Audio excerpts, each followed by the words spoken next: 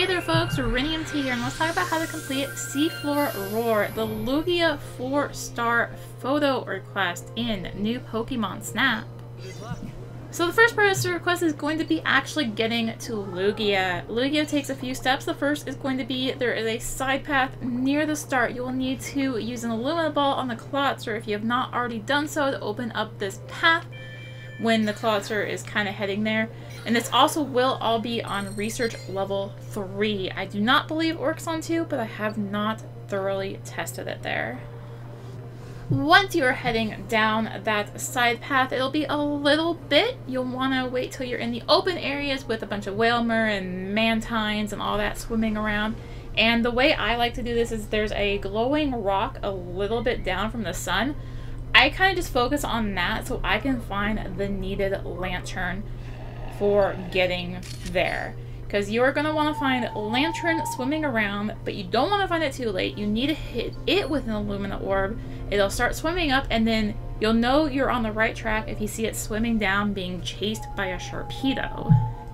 Once you've seen that, you'll need to wait a little while longer again until the Wailmer passes by, and then you'll start hearing some noises going on. Um, look around. I don't know exactly where, but you do have a decent window of time, and you'll see a two Frillish attacking a Lanturn. Throw an Illumina Orb at this Lanturn as well. Also, this is a four-star Frillish photo if you do not have it. Also, I think four-star four-star Lanturn here. Finally, as a way of saying thanks to you, this Lanturn you have freed will illuminate a path just at the start of where the Clamperls and Lumineons are. You will want to make sure you scan once it's available and start heading down that path because that is the path that contains Lugia.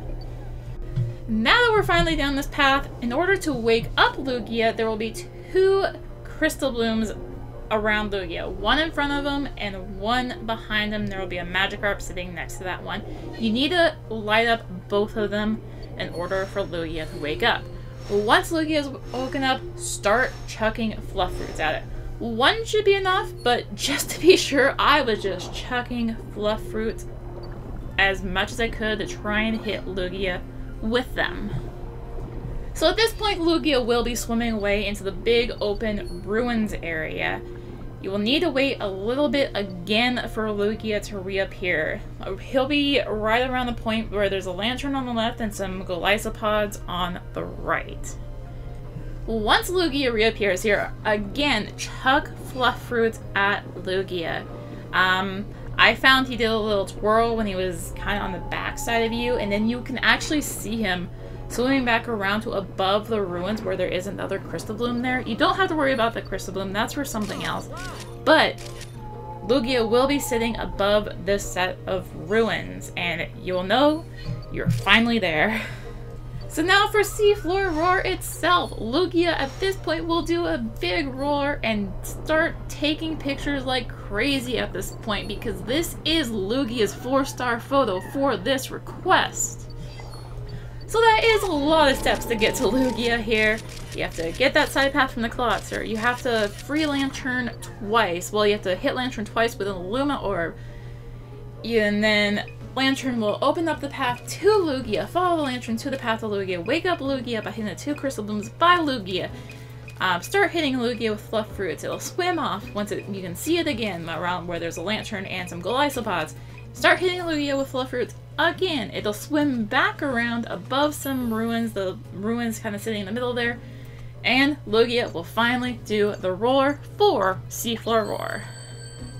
So thank you for watching, and a big thank you to ColsyyMz on Twitter for posting how to get this Lugia photo. Oh my gosh.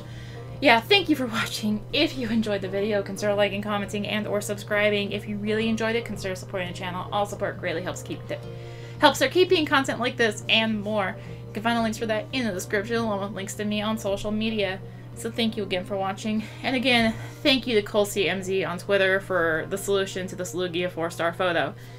And until next time, this is Rinium T, signing out.